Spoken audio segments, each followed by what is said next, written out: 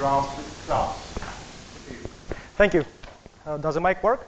Yeah, looks like it, it is. So hello, I'm, uh, I'm Andrey, and uh, there's a lot of you. Thank you all for coming. And I'm going to talk about graphs and uh, kind of about a new approach to working with graphs in functional programming languages. Uh, so I'll call this approach algebraic. It's a very overloaded term, and I apologize for that, but I couldn't find a better term. Maybe we'll find one with you. So before I continue, I should also clear up some possible ambiguity. So if you search for algebraic graphs in Google, this is what you get. So these are not the graphs I'm looking for Google. I'm looking for this kind of graphs. So we have vertices and edges, uh, connections between vertices. And still, if you stick to that, there are also lots of different variations of graphs. So more specifically, I'm looking for labeled vertices, graphs with labeled vertices. And any, con any connectivity, so you're allowed to form cycles, you're allowed to form self loops. Um, I'm interested also in directed or undirected graphs. And I do not consider edge labels in this talk, in this paper. Uh, there are no vertex ports. So for example, there was a, a, very, very nice talk by Conal Elliott where he was converting, well, compiling into categories, and he had graphs with vertices that had ports. So I don't have ports. And I also don't have any sort of forbidden edges. Sometimes you have graphs where you have sort of heterogeneously typed vertices, and not all vertices are compatible, so not, not all vertices can be connected. So I don't consider this case. So any connectivity is allowed. And then if you have any questions during the talk, don't hesitate to ask to clarify things. This is the usual way we uh, describe what, a what such a graph is mathematically. So just a pair of vertices and edges. And there is some side consistency condition that says that an edge ha must have both of its endpoints in the set of vertices. Otherwise, it's not a graph. And here's an example. So you have a graph with three vertices and two edges, uh, 1, 2, and 1, 3. There's a straightforward translation of this into Haskell, not an exact translation, but here we have a product type with a list of vertices and a list of pairs of vertices or edges. And the example is almost exactly the same as in mathematics. But there, there's a problem here. Can you spot the problem? Pardon? List, list is one potential problem, yeah. Another one? Exactly. So I didn't, I, I, kind of forgot about this consistency condition on, on top. I didn't express it in Haskell. So essentially, we can have a problematic case. So this is not a graph, according to the mathematical definition. We have this 1, 2 edge, which refers to vertex 2, which is not in the set of vertices. This is not a graph in mathematics, but our simple definition thinks it's a graph. So the, this program compiles, and somewhere later we will get a runtime error because we try to traverse this graph, because it's not a graph. Right? So how do we deal with this? Uh, the problem is it's hard to express this in types. Right? Uh, at least right now. Maybe some future Haskell will be able to express such types, and I think there are two solutions to this. Uh, you can fix Haskell, right? So there's a lot of people are working on refinement types and dependent types, which will hopefully make it easy to express such side conditions. Uh, but the other approach which I'm taking in this paper is fixing the underlying math. So I'm trying to come up with new math that allows us to describe graphs without this inherent partiality in, in the description, which will allow us to work with sort of basic simple data types, Haskell uh, 98 data types, without any refinement or dependency types uh, tricks. So this is probably the slide which I want you to remember. This data type is what I'm going to use to represent graphs. It's very much tree-like. So we have leaves that are vertices. We have internal nodes that are of two types, either uh, labeled with overlay operation or with connect operation. And there are also kind of empty subgraphs or empty leaves, which don't have any sort of vertex in them. So it turns out that you can use this uh, sort of uh, expression language to express every possible graph, and also non-graphs cannot be expressed in this language. And let me now clarify what these uh, four constructors mean. Uh, but just uh, to mention where these ideas come from, it's, uh, it's based on a series of works that my colleagues at Newcastle University and I were, were uh, doing in, in, the context of hardware design. So we had, we required a formalism for describing graphs uh, that was kind of total, it didn't have this partiality, and we came up with this idea. And uh, in this work, my contribution is I simplify this, I remove the parameterized bits, I remove parameters So I'm on, on, only talking about graphs. And I translate what we've done in hardware design to the functional programming con uh, context. So this is the empty graph. So this, the, the, empty constructor creates the empty graph. There is nothing in it. We can um, sort of give it there are more usual semantics in this uh, set of vertices and set of edges.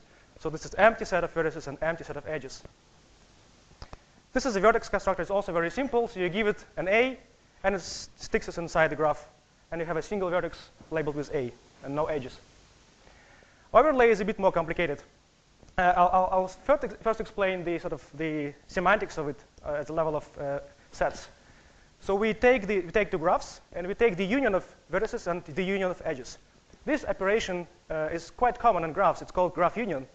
But I'm not calling it graph union. I'm calling it graph overlay because typically graph union has a constraint. You're not allowed to union graphs that, are, that have shared vertices. So your, your graphs must be disjoint. I don't have this restriction. I'll allow to union or overlay any graphs because I don't want to have any partiality in my language. And here's an example. So you have two graphs uh, with three vertices, and they have some shared vertices. And uh, you take the union, and the vertices and edges come from both of the graphs. This is, uh, if some of you did work on uh, some concurrent, concurrency theory, this is reminiscent of parallel composition. You essentially, if you have two systems described by kind of uh, graphs, you are composing them, you are composing shared events, you are synchronizing on them. And this is what Connect does. It's uh, similar to overlay. So it also takes the union of vertices, the union of edges, but also it adds another term here. It creates an edge from every vertex in the left-hand graph, in the left-hand side, of, and to, uh, to creates an edge to all vertices to the right, right-hand side. So basically like a quadratic number of edges potentially. Uh, and again, there is a uh, operation which is called graph join, which is defined exactly like this, but it's not defined for graphs with shared vertices, and I leave this restriction. I don't want to have any restrictions like this. I allow to connect graphs with shared vertices, and then, for example, in this case, we have vertex S, which is in both graphs, and this creates a self loop. So I connect S to itself. So these are all the constructors I have. Uh, I hope they're, they're clear. And by the way, uh, I'd like to point out that I'm going to use this shorthand notation arrow to denote the connect operation. And also on the previous slide, I had plus. So plus will stand for the overlay. And they behave like addition and multiplication uh, with numbers. There are very, a lot of similarities here. So coming back to our graph, uh, data type.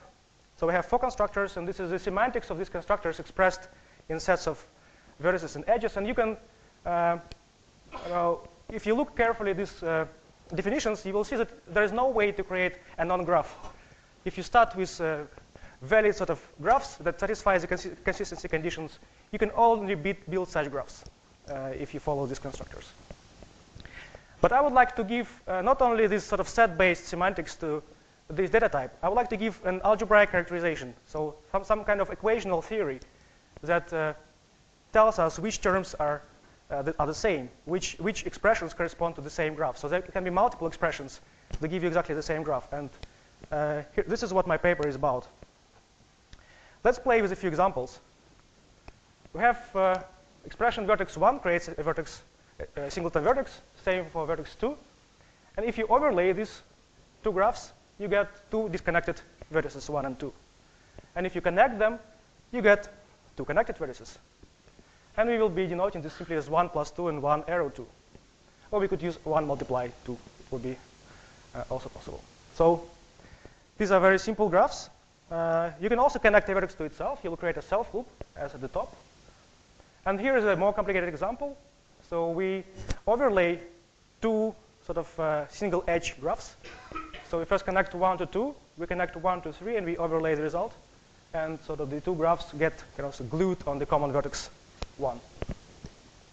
We can write it down as this formula now. And uh, when, when, we look at it, we start to wonder, can we factor out 1 in this expression? Sort of, can we follow the usual sort of intuition when we are working with multiplication-like and addition-like uh, values? And yes, indeed we can. So we do have distributivity. So this graph on the left-hand side produces this graph expression produces this graph, and also the expression on the right produces this graph. So we have distributivity not only for x, y, and z are vertices, but also when they are uh, graph, uh, arbitrary graph expressions, left and right distributivity. And so this holds for our set-based semantics. But we now want to postulate that this is a law that must hold uh, for our definition of uh, these four graph constructors. We now want to uh, go away from the set-based definitions because we don't really need them. We can just define the equational theory on our expressions. So distributivity is one of the important laws. And now it starts to look very much like semiring. And probably some of you think that this is, this is semiring. So who thinks is semiring? Right, there are a couple of hands, okay? This is not a semiring. This is almost a semiring, but there is a slight difference. This uh, law is what make it, make it different from semirings. If you kind of multiply three things, if you apply connect twice, you get this expression on the left. If you follow the rules we defined, you will get the triangle graph in the middle.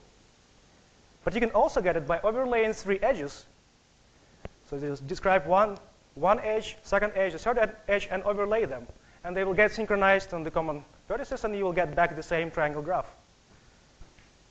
So I call this uh, law decomposition. Uh, I, don't I don't know if there's a better name. I tried to find this law in literature. I couldn't find it anywhere, which is surprising. But I think decomposition is a good name. But if you know, if you've come across this law, please let me know. So the intuition now is that any graph expression that you have can be broken down into simple primitives, into singletons and pairs, because we are working with graphs. So we can break down any expression into this sort of normal form where we have a list of vertices and a list of pairs of vertices. There will be no kind of triple or quadruple multiplications left after we apply the decomposition axiom successfully. successfully. So this is algebraic structure. It is very similar to a semiring, but it's not quite a semiring. So our overlay, our plus is commutative and associative. Uh, our connect is associative, it's not commutative. It does matter in which order you connect graphs because it will create edges uh, going in the opposite directions.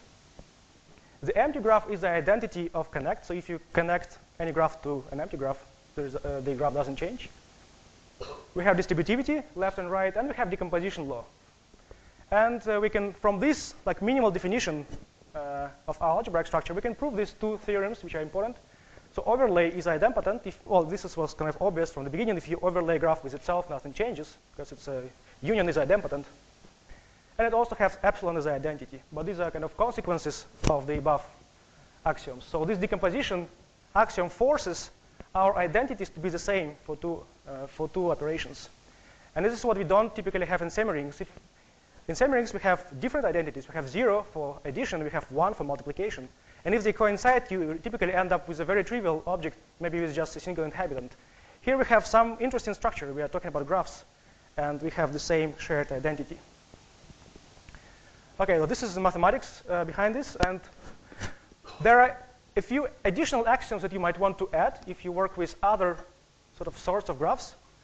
For example, if you're interested in undirected graphs, you can make the connect operation commutative.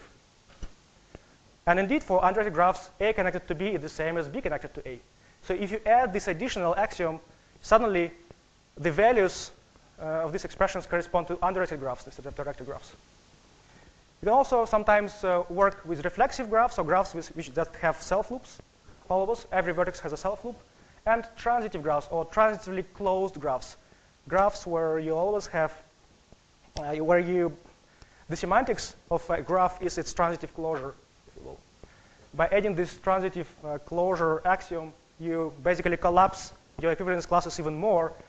Uh, and now you cannot distinguish graphs that have uh, different expression, but whose uh, transitive closure coincide. And you can mix and match these axioms, and you can come up with different interesting combinations. For example, preorders uh, can be obtained by kind of combining reflexive and transitive axioms in addition to all the axioms in the previous slide. And if you, if you also add undirected graphs, uh, this uh, commutativity of connect, you suddenly go from graphs to equivalence relations. So this is already, a much simpler kind of structure uh, so equivalence relations can be also obtained in this axiomatic way by just adding a few extra axioms. Oops. Yeah, that's right. So coming back to Haskell now. So we have our data type.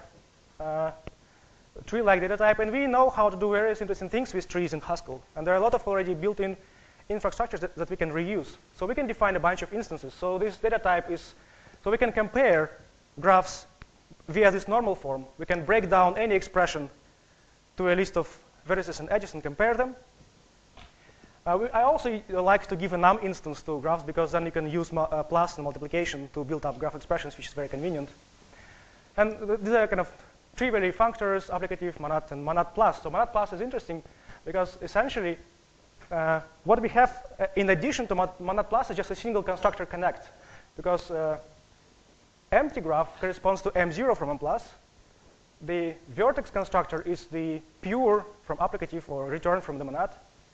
And the m plus from, m plus, uh, from monad plus is the overlay. So we only have uh, one additional uh, constructor compared to sort of what we, we, would get with monad plus.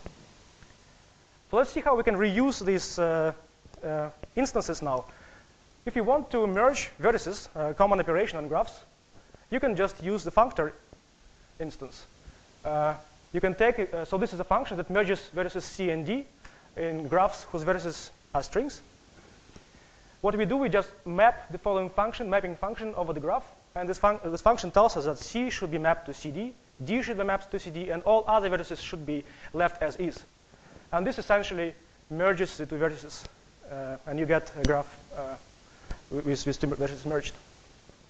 How do you undo this? Any ideas? How do we undo this operation? How do we split vertices?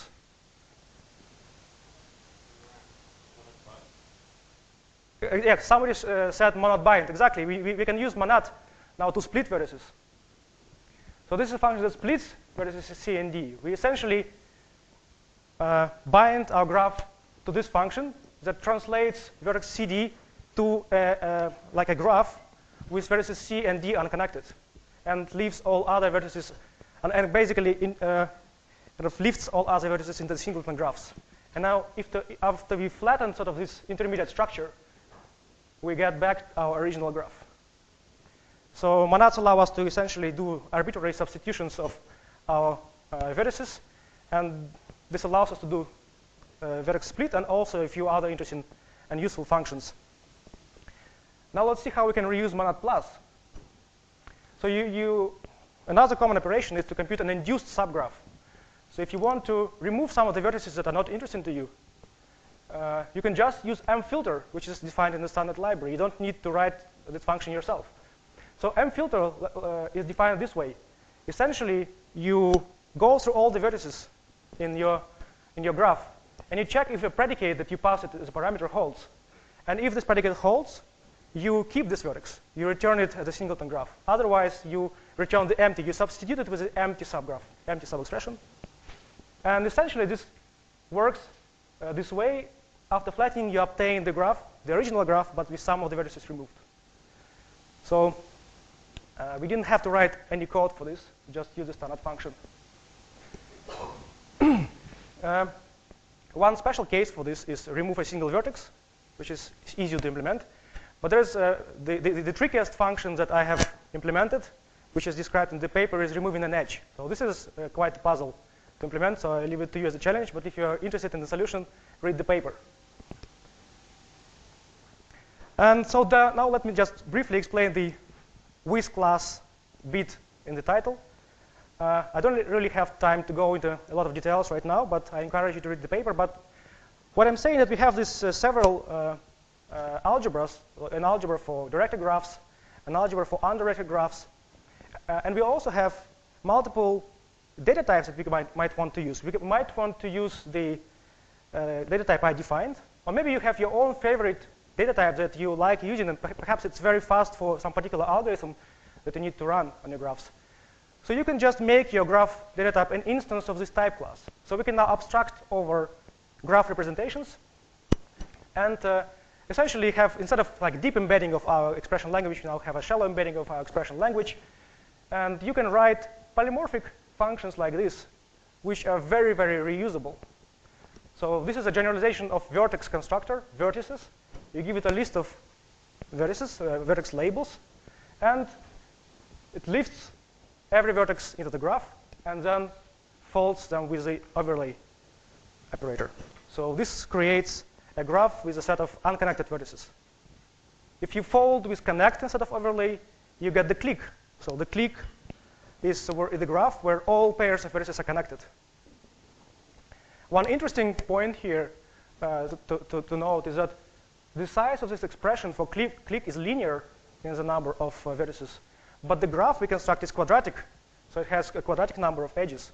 So these expressions are also sort of compact representations of graphs. And uh, this is uh, something that I haven't yet explored. But I think you can probably come up with you know, faster algorithms to work with these graphs uh, than by the traditional representations where every edge is listed separately.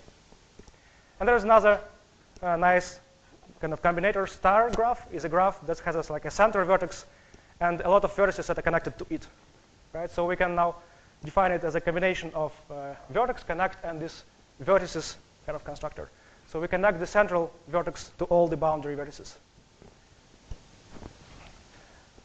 And uh, so this has been implemented as a library. And uh, the idea is that I've defined a bunch of such functions that can be used to create graphs uh, polymorphically without committing to a particular uh, data representation. And you can uh, like split vertices, merge vertices, and do a lot of stuff with them. And then one, when you're done, when you have the graph you want to run your algorithm on, you can convert it, instantiate it to a particular representation, and you can run your favorite algorithm, uh, which will be efficient in this representation, uh, which I think it's, uh, uh, allows us to get a lot more use for graph-related code. So it's available on Hackage. It's, uh, I think it's well documented and has a lot of examples, so I encourage you to have a look at the library. Also, parts of the API have been formally proved in, in, in Agda, uh, uh, it turns out that this representation is also convenient for writing like formal proofs of graph transformations and uh, verifying sort of Haskell APIs by following this uh, equational theory. And it's used in industry. So there are, I know four companies that use this library already. I'm only allowed to name, to name one of them. So the company, uh, a local company here in, here in Oxford, E Therapeutics, are doing drug discovery. They are working with like biological networks, and they are using this library now and there are some others. Uh, so thank you. I, uh, uh, I have a, one question for, for, the audience myself, but I'm obviously happy to answer your questions. Have you come across this decomposition law? Please let me know if, you, if you've seen it somewhere, because I'm, I'm sort of, I'm, I'm, sure somebody has come across this, but I haven't found it anywhere. And also, like, plenty of uh, interesting research uh, projects to work on, and I'm, I'm stuck on, on many interesting questions, and I need your help, so please help me solve them. Thank you.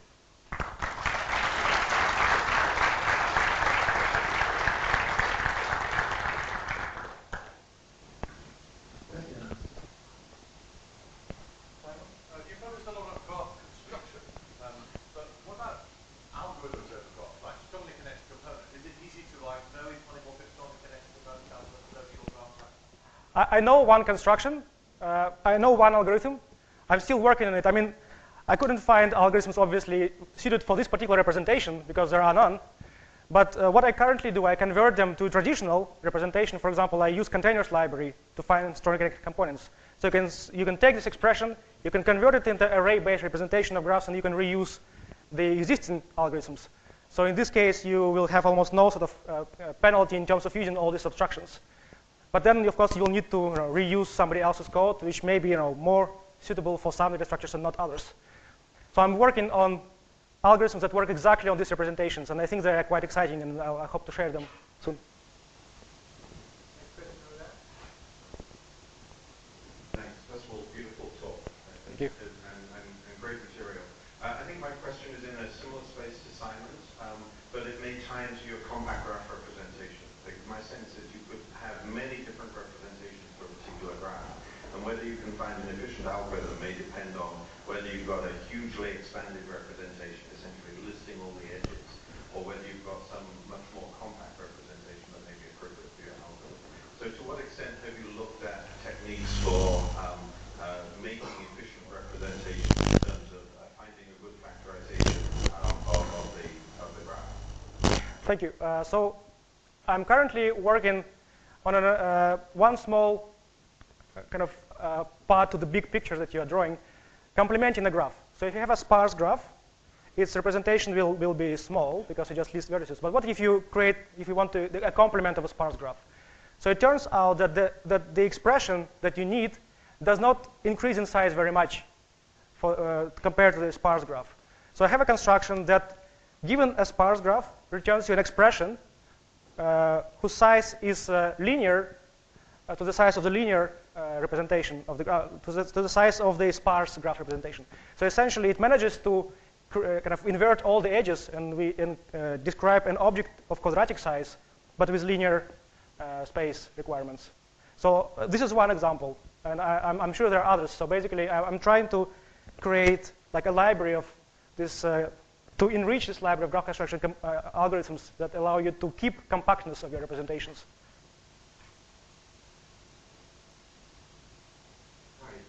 Uh, where are you? Ah, yeah. Thank you for this very interesting talk. Um, my question is also a bit of a clarification, maybe. So your data structure is very polymorphic, and from what I understand, the identity of node is actually depends on the type you're instantiating. So you can create you can create graphs in a polymorphic way, but are there any non-trivial algorithms you can actually use to analyze the into polymorphic algorithm on those graphs? And or is there, if you have, for example, equality, is that enough to have interesting algorithms? Do you need more structure? Is how do you link the structure on the type A to what you can do on, from, from the graph itself?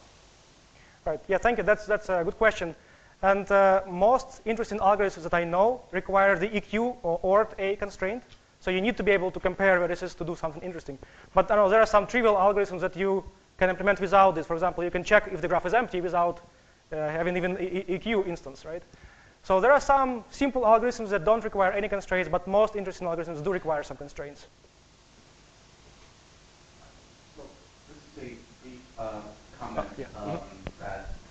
Without going into it now, um, and without saying it's exactly correct, uh, there may be something related to the law you're looking for, either in a notion of a fiber product, like a simple setting, or maybe with this structure called a rack that is sometimes used in mock. Uh, just a, yeah, thank you. I mean, all these terms are unfamiliar to me. I, I should catch you later, and uh, yeah, I should find out how this works here. One more question at the very back, and then we need to uh, next speaker. Yes, thank you. Uh, what difficulties do you foresee in introducing edge labels in order to label graphs? Right. Uh, I don't know what's the best way to do it yet. I have a few ideas. One of them is, so if one example of an edge-labeled graph is a finite automata, for example. On each uh, edge you have a symbol, for example, that uh, corresponds to the action.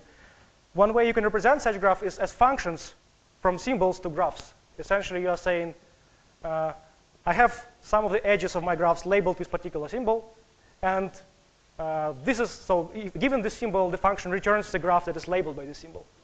So as uh, if you have a, an instance of graph, so functions that returns that return graphs are also instances of graphs. Just like with numbers. So if you have numbers, then functions that return numbers can also be made uh, instances of numbers. That's what we always do with mathematics. We can add not only numbers, but also functions on numbers. So functions on graphs are also graphs, and this is one way to introduce edge labels, I think. Uh, but it's not the only one, and uh, to be honest, I don't know the right answer yet. Okay, thank Andrea. Thank you.